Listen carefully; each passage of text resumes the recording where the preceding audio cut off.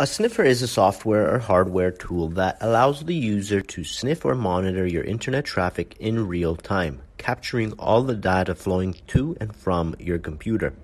Watch on to learn how sniffers work, what they're used for, and how you can protect your data against sniffing attacks.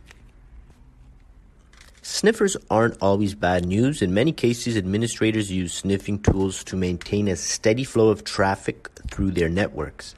They can detect bandwidth hogs, such as anyone making heavy use of file sharing programs, and then take appropriate action. The word sniffer with a capital S refers to the trademark name, now owned by NetScout, of one such monitoring tool. But if you're asking what a sniffer attack is, you're probably less concerned with legitimate applications of sniffing technology and more with how someone might be using that technology against you.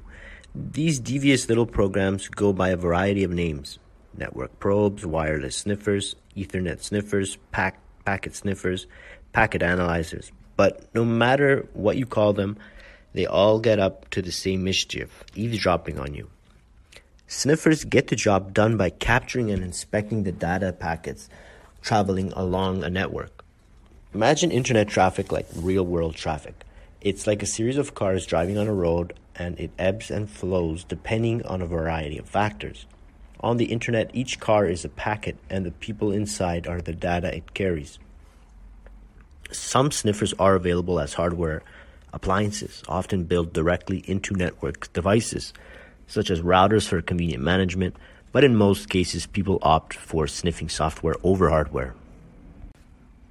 When first created, sniffers were and still can be very helpful tools for engineers to manage their networks because they allow administrators to view all the traffic on a network. They can be used to diagnose issues and assess performance. How do network admins use sniffing software? First, it's important to understand how internet traffic generally works over a network. In most situations, your computer will only investigate packets that have been specifically addressed to it. Reaching back to the cars driving on a road metaphor, we can imagine your computer as a house along that road. You wouldn't need inspect every car that drives by your house, but if someone parks in your driveway, you'd likely be inclined to open the door to see who it is. This is how your computer treats most packets of data. It ignores the ones going along the network to other destinations while inspecting the packets that are sent to it. Sniffing software adjusts a computer's network settings so that it sniffs every packet instead of those just sent to it and copies them all for later investigation. Rather than answering the door only when someone comes to visit, the sniffer is glued to the window watching all cars as they drive by. Our window sniffer might obsessively monitor every car, or they might choose to investigate only trucks or red cars or cars with at least three occupants, or maybe just motorcycles. In other words, a person using a sniffer in unfiltered mode can harvest all the network's traffic, or they can configure the sniffer to filter packets containing a specified type of data. Skilled technicians place sniffers inside a network to tap into its traffic and track what's being sent. You've probably seen at least one movie in which a crafty detective puts a tap on a suspect's phone line and listens in as they discuss all sorts of nasty business. Sniffers are essentially the same thing but for the internet. Here's a short list of people who might make use of network sniffers network engineers by analyzing the type of and level of traffic on a network. Engineers can use the data to optimize their network structure for efficiency and speed. System admins, network sniffers are amazing troubleshooting tools. Sysadmins can dive into bottlenecks or other slowdowns as they're happening to examine the issue.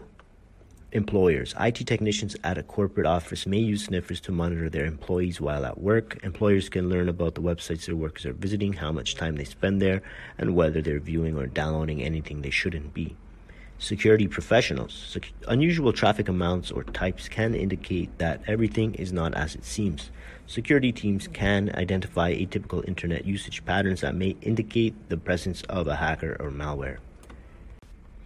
Network sniffers aren't only used by good guys, unfortunately. Cyber criminals can tap into a network and help themselves to all the traffic sent through it.